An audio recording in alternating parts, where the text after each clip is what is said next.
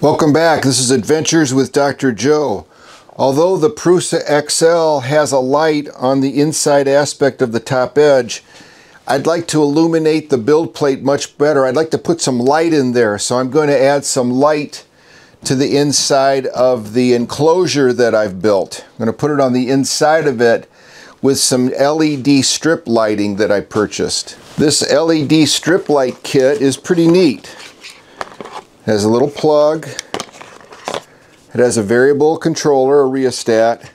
And then this LED light is basically LED tape and it can be cut to any length that you want. So my idea is to put it on the inside of the enclosure that will illuminate the build plate as we're building. So let's let's do that. Let's let's take the enclosure off and put this in. Okay, so I got it off. I'm going to bring the cord on this corner and so I'm going to start putting some, bring this down the side and putting the tape in the top.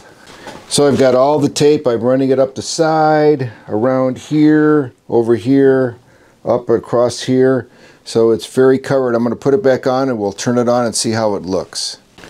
So this is the plug and here's the cord connected to it. I put a piece of this 3M very strong adhesive tape on here and I'm going to put it on here and that's a very convenient location. Okay, we've got it connected, all taped up. There it is. Look how that brightens up the build plate. I think this is going to be great.